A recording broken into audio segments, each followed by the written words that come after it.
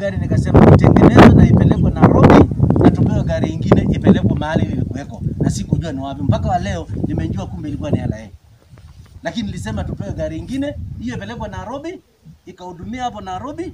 Ikiharibika kama tulipewa ikiwa na mechanical problem, ikaweze kuhudumia hapo, na wakubwa wakaniruhusu, na ndio nasukuma naye ikaweze kupelekwa Nairobi na watu ya Meru Garage, ndio iluke ikuje ilu, tupewe ingine irudishwe mahali ile ilikuweko.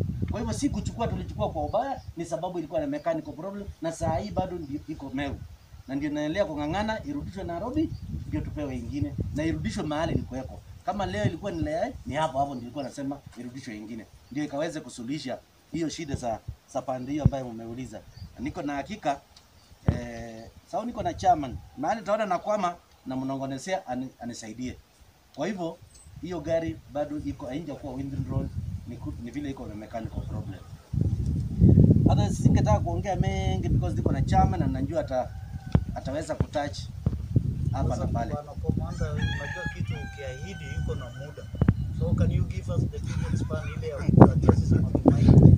Ah, ni sawa, kitu iko na muda, yeah, lakini ningetaka kukuambia kitu moja. Unaposema unaenda na uko na nia ya kwenda na si ya uongo, unaanza hiyo safari. Hiyo mtu anataka nikupee, na mimi nakimbisana na company, nakimbizana na company, na nikikudanganya hapa, kesho utaniita hiyo mkutano, uliniambia umenipea siku mbili, leo ni ya tatu. Kwa nini? Na mimi pande ingine naye nimesukumwa. Ningeomba mzee, ukisikia nimesema nimesema eh, kwa roho safi na kwa roho ya kujitolea, na nimesema sasa niliongea mambo ya gari, sikujua ni ya wapi. Mimi sikuwa nimeelezwa ni ya wapi, lakini nilisema hiyo gari niweze eh, kupelekewa Nairobi, nilipewa ile ingine nili- niliahidiwa, because company ndio ili provide.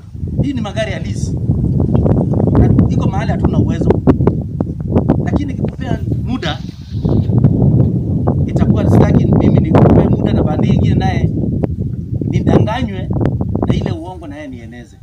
Nipee hiyo nafasi, nimekuambia ninakimbizana naye na ninakuambia before chairman. Hata chairman hata kumbali ataniuliza ulisema